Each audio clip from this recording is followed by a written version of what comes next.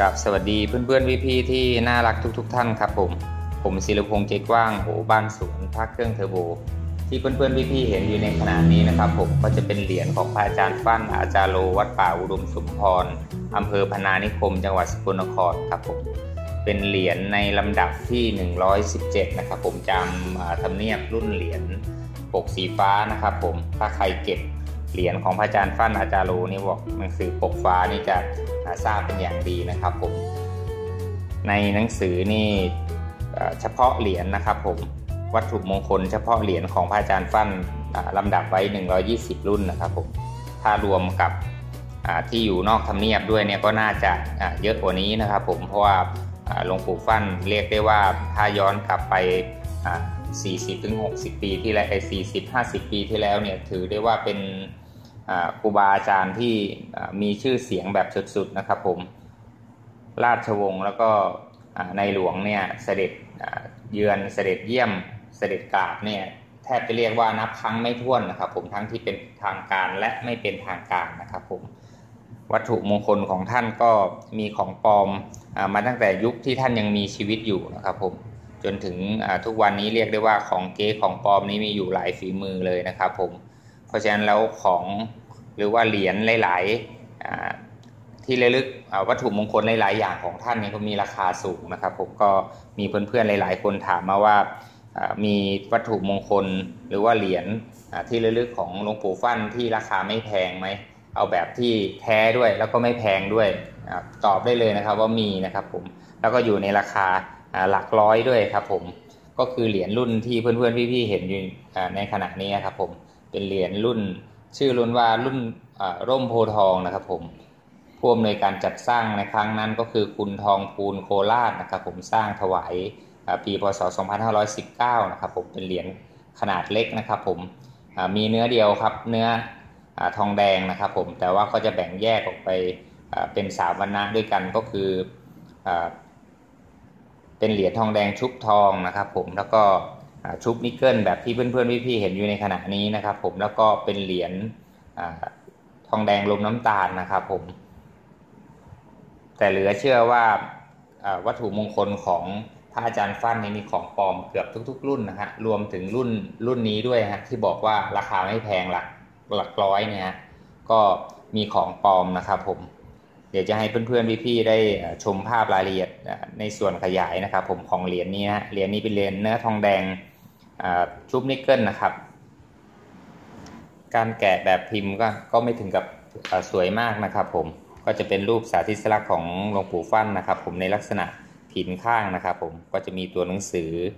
เขียนว่าพระอาจารย์ฝั้นอาจาโรนะครับผมเหรียญนี้ติดชัดดีครับผมบางเหรียญก็จะมีลักษณะตื้นเบอร์นะครับผมโดยมากก็ไม่แนะนำให้เช่าเก็บเลยนะครับผม ตัวยันบี้นิดนึงนะครับ ผมแต่ว่าก็จะมีเส้นรัศมีชัดเจนนะครับ ผมเป็นยัน5นะครับผมลายล้อมด้วยคาถานกยุงทองครับผมนี่ก็จะเป็น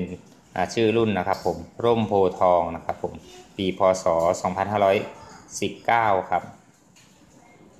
ใครที่จะเก็บเหรียญรุ่นนี้นะครับ ผมโดยส่วนตัวแล้วผมแนะนำเลยนะฮะให้เก็บที่เป็นกะไหล่ทองแล้วก็ที่เป็นชุบนิกเกิลนะครับผม ทำไมผมถึงแนะนำแบบนี้นะครับผมเพราะว่าของเก๊โดยมากเราจะเก๊เป็นเหรียญทองแดงรมดำรมน้ำตาลนะครับ แล้วก็ชุบนิกเกิลเนี่ยเรียกได้ว่าในปัจจุบันนี้ของเก๊นะครับผมไม่ค่อยชุบกันนะครับผมเนื่องจากโรงงานปั๊มพระส่วนใหญ่สมัยเมื่อก่อนนี่เขาจะใช้ชุบกัน ที่เป็นเนื้อทองแดงเนื้ออันปาก้าอะไรพวกนี้สมัยเมื่อก่อน แต่ทุกวันนี้เนื้ออันปาก้านะครับผมของแต่ละโรงงานเนี่ยเรียกได้ว่ามีการพัฒนานะครับผมทำให้เนื้ออันปาก้ามีสีขาวนะครับผมไม่จำเป็นต้องชุบนิกเกิลอีกครั้งหนึ่งนะครับผมก็จะมีบ้างเหมือนกันที่เป็นเนื้ออื่นที่ชุบนิกเกิลเป็นเนื้อทองเหลืองทองแดงอย่างนี้ครับผมอย่างเหรียญรุ่นเก่าก็อย่างรุ่นนี้เป็นต้นนะครับผม ก็จะมีการชุบนิกเกิลนะครับผมในปัจจุบันนี้การชุบนิกเกิลของแต่ละโรงงานเนี่ยไม่ค่อยจะมีแล้วนะครับผมก็มีบ้างเหมือนกัน แต่ว่าน้อยน้อยลงนะครับผมตามยุคสมัยนะครับ ผมก็เลยแนะนำให้เก็บเนื้อที่เนื้อทองแดงที่ชุบนิกเกิลนะครับผมเพราะว่าในปัจจุบันมันไม่ค่อยมีแล้วก็เป็นเครื่องการันตีอย่างหนึ่งว่าจะไม่ค่อย ถ้าเห็นชุบนิกเกิลเนี่ยของเหรียญมักจะไม่ค่อยเกครับ เนี่ยมาดูด้านหลังนะครับผมมาดูด้านข้างครับขออภัยฮะด้านข้างตัวตัดนะครับผมจะเห็นคมตัวตัดนะครับผมที่เป็นร่องลึกบ้างละเอียดบ้างนะครับผมแล้วก็เอียง 45 องศา ขอบเหรียญเอียง 45 องศาจะเห็น รูปขอบเหรียญนะครับ ผมที่อยู่ด้านหน้านะครับ ผมกับตัวตัดที่อยู่ด้านข้างนะครับ ผมเขาจะเหลือปีกไว้นิดนึง เห็นไหมฮะไม่ตัดชิดจนเกินฮะเขาจะเหลือปีกไว้นิดนึง แต่ถ้าเหรียญที่เขาทำเกเนี่ยเขาจะตัดค่อนข้างที่จะชิดมากฮะทำให้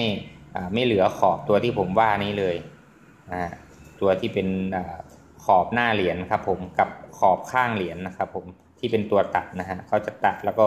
เว้นระยะทำให้เหลือ ไหลเหรียญเป็นลักษณะแบบนี้ฮะเหรียญอย่างที่เพื่อนๆพี่ๆเห็นอยู่ในขณะนี้นะครับ ผมก็ราคาเช่าหานี่ก็จะอยู่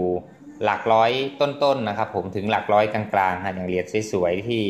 ติดเกษาเต็มๆแบบนี้เห็นไหมฮะอย่าว่ารายละเอียดไม่ดีนะครับ ผมเนี่ยเกษาก็ติด เกษาก็ติดเหมือนกันครับผม เส้นขอบด้านในจะเห็นลดหลั่นกันลงมาอีกสองสามสเต็ปนะครับผมเห็นไหมฮะของเกนี่เขาจะถอดพิมพ์มาแล้วมันจะเบลอไปเลยนะครับเนี่ยเล่นแบบนี้สบายใจนะครับผมเห็นไหมผิวนิกเกิลก็ค่อนข้างแห้งครับผมเราสังเกตง่ายฮะไม่ว่าสภาพจะยังดีหรือว่าสภาพใช้งานที่นิกเกิลเริ่มหลุดออกไปแล้วนะครับ พอเรามาดูผิว นิกเกิลเราจะรู้ได้เลยนะครับ ผมว่าผิวนี่แห้งดีหรือเปล่านะอย่างนี้แห้งดีครับผมรอยกระจายรัศมีออกรอบคือแรงถีบบล็อกนะครับผมตัวหน้าพิมพ์ตัวหน้าตัวหลังนะครับ กระแทกกัน โลหะก็วิ่งออกขอบข้างนะครับผมเห็นไหมฮะ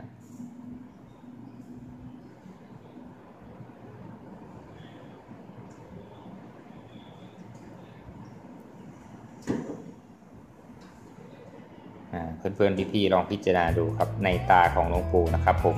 ทั้งสองข้างนะครับผมเป็นเม็ดกลมๆชัดเจนนะครับ หัวไหล่นะครับผม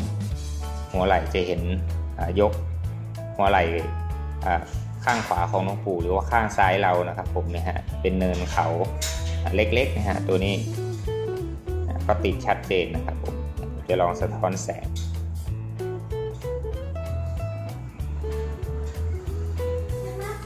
นี่ครับเอาโดยสังเกตนะครับผม